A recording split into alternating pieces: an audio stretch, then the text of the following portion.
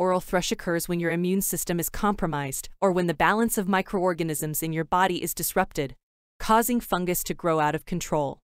Certain medications that reduce the number of friendly microorganisms in your body, such as antibiotics and cancer treatments, make you more susceptible to oral thrush and other infections.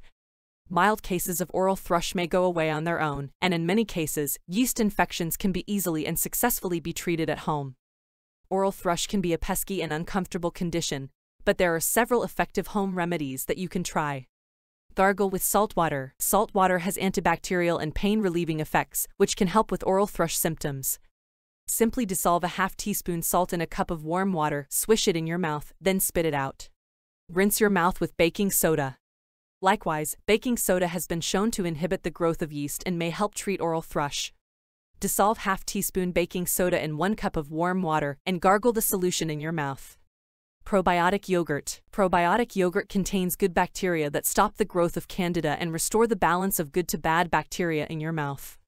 Natural, unsweetened, non-flavored yogurt is preferred as it contains beneficial bacteria.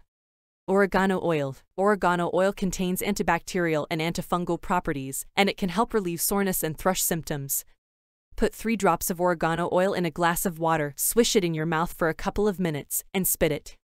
Use gentian violet. Gentian violet is a synthetic antifungal and antiseptic dye that has long been known as an inexpensive treatment of thrush and other fungal skin yeast infections. Using a cotton swab, apply enough gentian violet to cover only the affected area in your mouth two to three times a day. Remember to maintain good oral hygiene, eat a balanced diet, and avoid irritants like tobacco and alcohol. If you're struggling with oral thrush, give some of these home remedies a try and see if they work for you. And if your symptoms persist or worsen, make sure to consult with your healthcare provider. Don't let oral thrush hold you back from living your life to the fullest. Thank you for watching and take care of your oral health.